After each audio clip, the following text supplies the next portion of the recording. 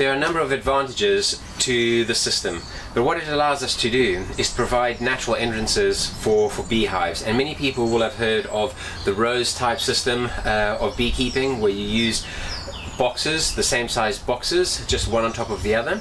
Uh, also, many commercial beekeepers in many parts of the country will overlay a super so that the bees have more access. Well, this decreases robbing uh, at any time where there's a decrease in flow and it allows the beekeeper to do exactly the same thing but with controlled entrances. So anytime I need to control the entrance size, I can use a plug and close the entrance up.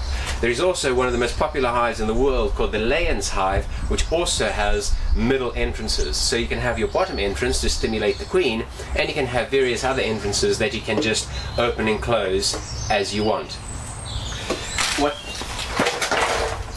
what many people uh, will do uh, particularly uh, as they come into the spring. And if you have any supers full of, uh, of honey from uh, last year that may have crystallized or you want to stimulate uh, the queen, what, what you can do is actually place the super underneath your brood box. So, very simply, we have our nicely made boxes with no holes anywhere.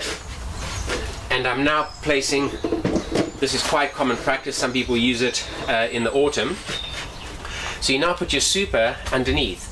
And what we just do is we now just close up